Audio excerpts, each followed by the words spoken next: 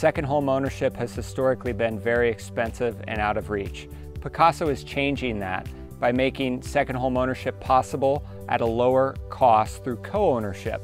And what that has introduced is a higher percentage of first-time second home owners that are able to realize that dream more than they ever would have been able to pre-Pacaso. The housing market is crazy at the moment, and it's a function of a shortage of supply and an abundance of demand.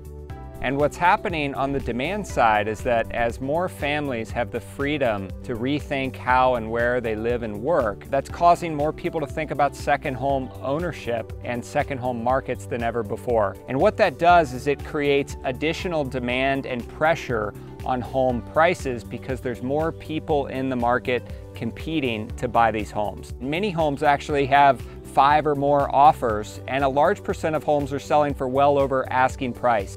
The local workforce is typically purchasing around the median tier in a given market. At Pacaso, we're purchasing at the two to three times the median price tier in a market, which are luxury homes.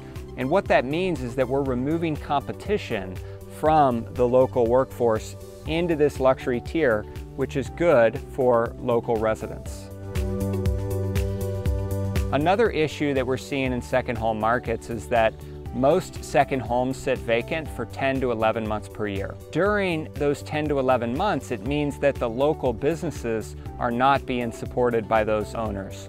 With Pacaso, we have up to eight families who own the home, and those eight families utilize the home throughout the year while also supporting the local businesses more consistently.